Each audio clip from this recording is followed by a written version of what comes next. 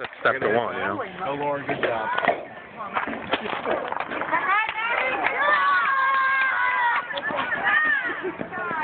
Good job, man. Good job.